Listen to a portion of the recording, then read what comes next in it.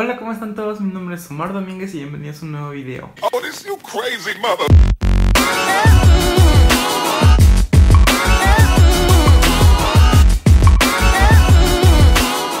El día de hoy quiero que me acompañen a vivir una aventura que hace muchísimo tiempo que no vivía. Exactamente nueve años y después de tanto ahorro y de tanto esfuerzo se vuelve a dar.